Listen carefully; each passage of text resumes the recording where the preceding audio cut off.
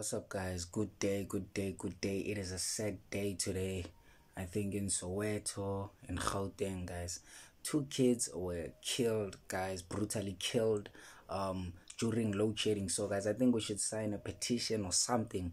We should blame um, the government for these killings or Eskom. So, guys, um, two kids were killed in Jabavu White City immediately when the lights went off. Immediately when the lights went off, I think it's yesterday or the day before, 8 p.m. So I think it's yes day before yesterday, 8 p.m. The lights went off. These kids were playing, were still playing. A white van pulled up. There were three kids actually. The third one managed to escape. They called the kids to the van, and their bodies were cut, throat slit. It's like guys, guys.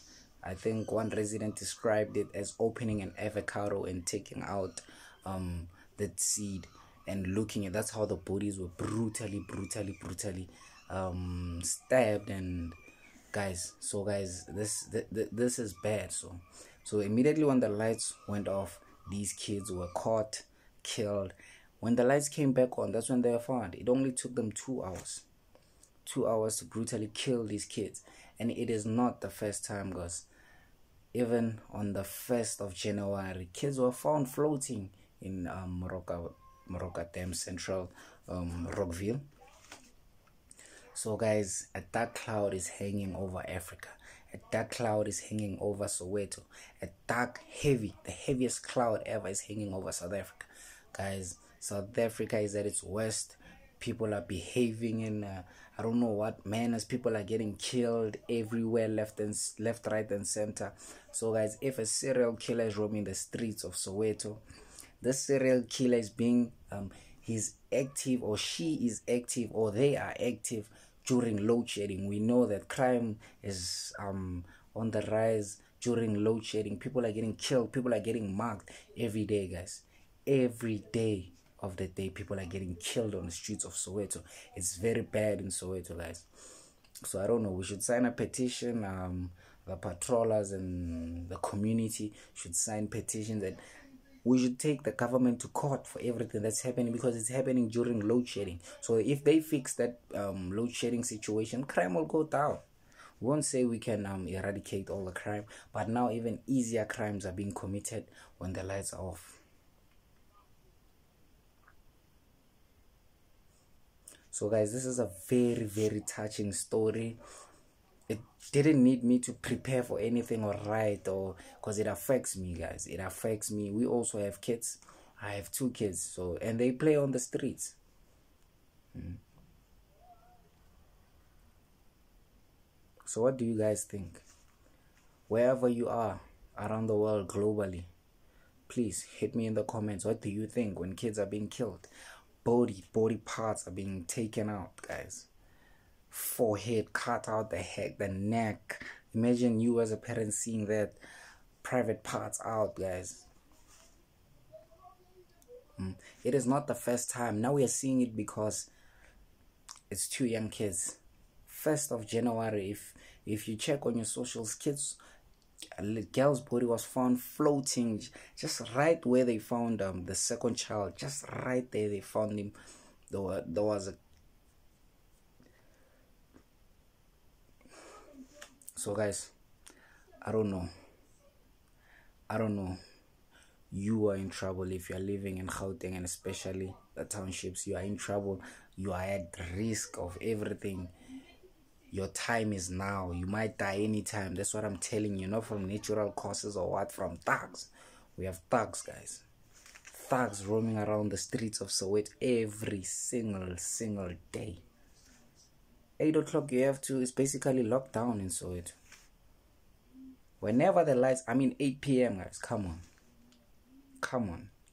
The parent just lost one minute sight of them maybe the kid is by the gate. They call him oh here's a sweet the kid is lost gone. Are you saying we should keep lashes or leashes on our kids or tie them up with chains so kids shouldn't play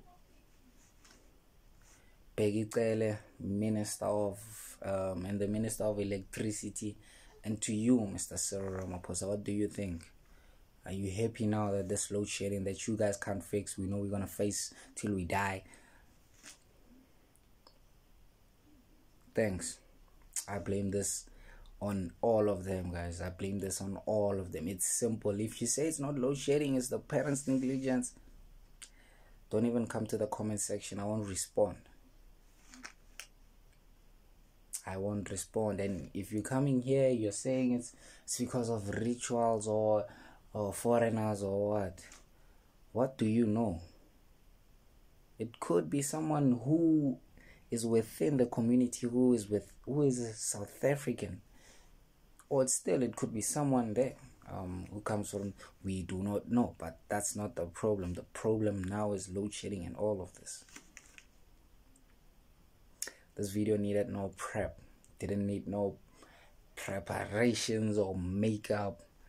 It just needed to be said, guys. We should blame them. We should blame them. You top officials, you ANC, you Minister of Energy, you um Bheki you come help um not even come help Soweto, help the whole country. It's not happening here in Soweto. It's happening here because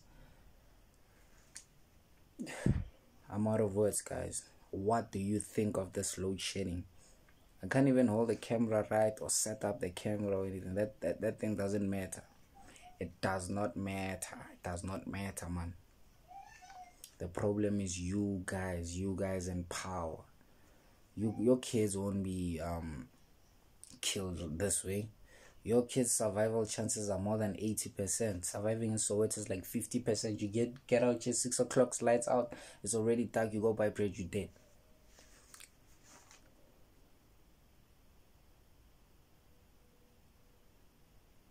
hit me up wherever you are. This is Mtrendo Kasi. This is not a normal video. When you see my face it is not a normal day. Please subscribe to the channel. Comment. This one I need your comments guys from wherever you are New York LA Cairo Cape Kenya Abu Dhabi wherever you are a dark cloud is hanging over South Africa. A dark cloud is hanging over Africa. A dark cloud is hanging over the black child. A dark cloud is hanging over Soweto. Let it rain, guys. Pula.